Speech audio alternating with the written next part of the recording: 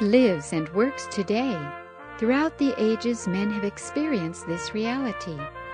Yes, when they turned to Him in prayer, God did hear and intervene. Their troubles were really changed.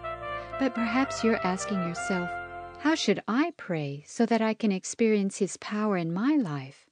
The answer is in today's meditation by Basilea Schlink called Childlike Prayer.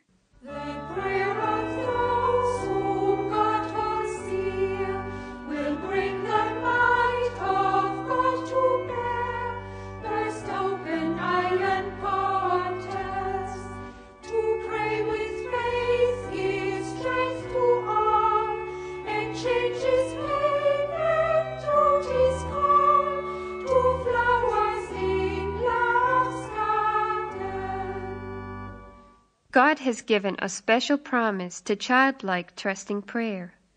Again and again, Jesus urges us to become like children, for to them the kingdom of heaven belongs. Yes, to them God's fatherly heart is open. Children win the Father's heart by their childlike trust as they come to Him with their smallest needs, asking for even the littlest things. Jesus says, if an earthly father can't give a stone to his child when he asks for bread, how much more will the Father in heaven do good to us, his children, when we come to him like children?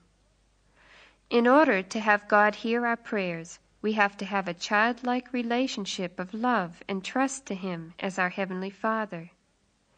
If such a prayer is according to his will, it will not be disappointed.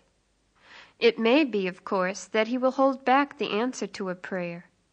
If there is a specific obstacle hindering the prayer, such as uncleansed and unrepentant sin. But it can also be that he is withholding a gift from us in order to teach us something, so that later he can give to us even more abundantly. Hasn't James put his finger on our main problem when he writes in James 4, verse 2, You do not have because you do not ask. We are lacking childlike prayer. Yes, we remain poor with many needs simply because we are too unchildlike to ask. We take precautions so that we don't even come into a situation where we might have to ask the Father for help. God, however, wants to be a Father to us. He wants us to come to Him with every one of our needs. He waits for children who will ask of him time and time again, because as a loving Father, it is His joy to do us good and to give us gifts. Heavenly Father, I'm thy child. Is there better to be found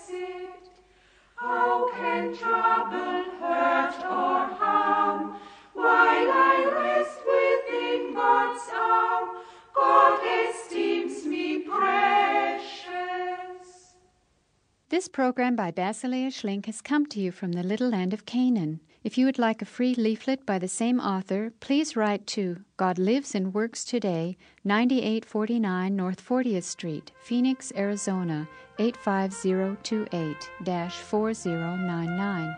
That's God Lives and Works Today, 9849 North 40th Street, Phoenix, Arizona 85028 4099.